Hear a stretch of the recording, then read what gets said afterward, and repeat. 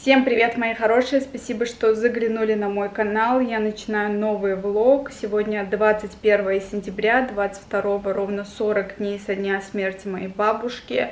Казалось бы, это произошло буквально вчера, а уже прошло 40 дней. Представляете, у нас у мусульман на 40 дней проходят поминки, приходят все, все ее знакомые и так далее, помянуть бабушку. Поэтому там в деревне нужна моя помощь, плюс еще прилетает мой дядя, его нужно встретить. Мы сегодня, наверное, с братом поедем его встретим и уже оттуда направимся в деревню. Мама попросила привезти вот эту скатерть. В городе она как-то не в тему, в деревне можно. И еще вот эти вот тарелочки, ложки. Я, в общем, все это запакую аккуратненько, чтобы ничего не сломалось по дороге. И все в мою спортивную сумку. Беру вот эту метелярку от Faberlic, потому что она маленького объема. И, конечно же, свою любимую умывалку от Natura Камчатка. Я точно не знаю, сколько дней я там буду. Хочу взять этот тон от Бель, потому что он самый легкий среди всех остальных. На дорогу поем-ка я йогурт, который остался в холодильнике. Обожаю йогурты, особенно эти. Позвонила брату, спросила, во сколько же мы выходим. Он сказал через час. А я такой человек, я всегда все оставляю на последний момент. Поэтому можно посидеть, покушать. Посмотрите, какой он густой. Обожаю этот йогурт. Очень вкусный. Я с собой взяла... Ммм, какой вкусный, реально. Я с собой взяла микрофон. Вдруг там будет свободная минутка времени, я сниму для вас мукбанг. Хотя, наверное, будет выглядеть очень некрасиво, что на поминках я сижу, снимаю мукбанги.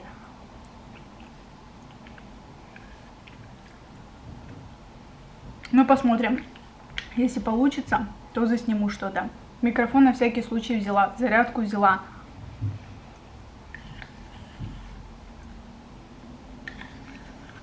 Единственное, Твикса придется оставить одного. Хотя его могу к перване отвезти. Но ветеринар сказал, что ему категорически нельзя стресс. А там у них есть уже домашние животные. Кошки. Кошка и кот. Поэтому я думаю, лучше без стресса. Пусть сидит дома. Через день все равно я приеду. Вообще надо было что-то купить к похоронам. А я купила себе черное платье, но оно достаточно короткое, оно с длинным рукавом, и на улице очень жарко. Поэтому я, пожалуй, возьму с собой вот эту юбку и замиксую это все вот этим топом. Буду вот так вот. Потому что мне надо там помогать, и в короткой юбке мне будет неудобно. Ну все, мы мчимся. Два человека, которые вечно всегда везде опаздывают. Я сегодня хотела встать пораньше, столько дел было, но встала поздно, как всегда ничего не успела. Но зато я купила вкусняшки на дорогу, которые мы будем есть по дороге. Добрым утром, да? Добрым утром.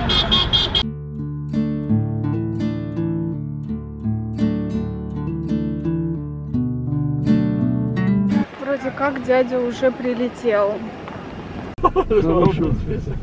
Мы встретили моего дядю, я влог снимаю на себе. А, давай, ладно. Вот, и сейчас едем к двоюродной сестре, ее тоже навестить, а потом уже поедем в деревню. Возвращаясь к вам уже на следующий день, так получилось, что вчера мы не поехали в деревню, а едем только сегодня. Остались у сестры, переночевали. Я вам особо не снимала, потому что снимать было нечего. И сейчас уже мы потихоньку собираемся. Время рано утро и выезжаем в деревню. Сегодня как раз-таки тот день, когда 40 дней. Сейчас вот с дядей, с двоюродной сестрой, с ее семьей поедем.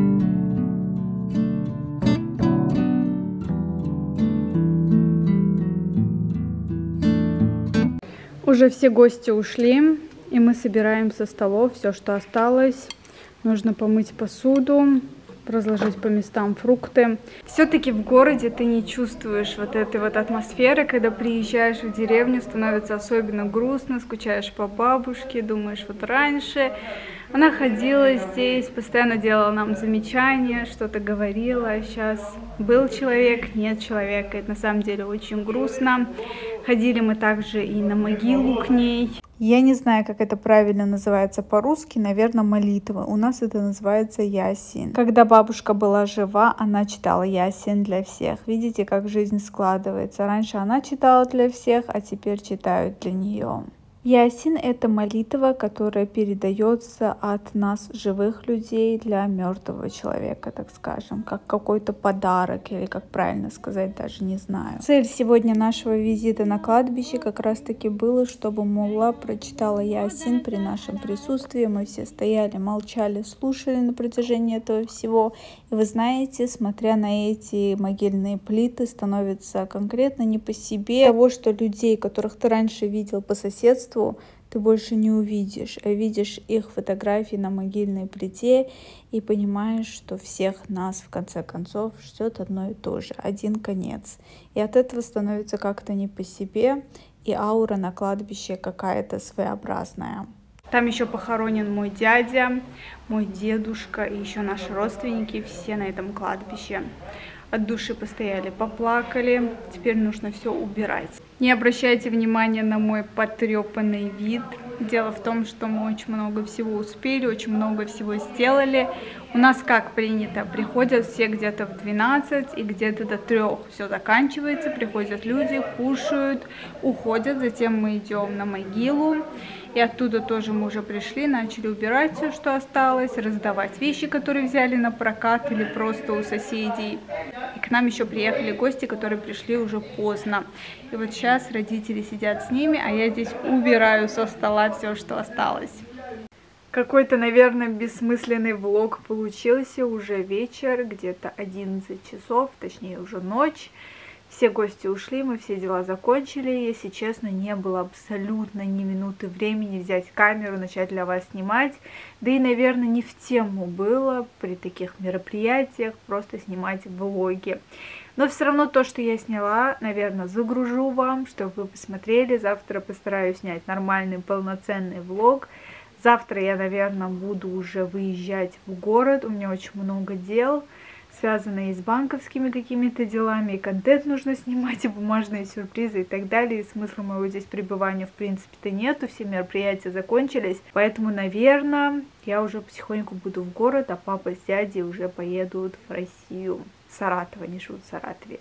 На этом буду закругляться. Спасибо огромное, что досмотрели этот влог. Не забывайте ставить лайки, подписываться. Извиняюсь за такой непродуктивный, наверное, неинтересный влог, но я буду исправляться.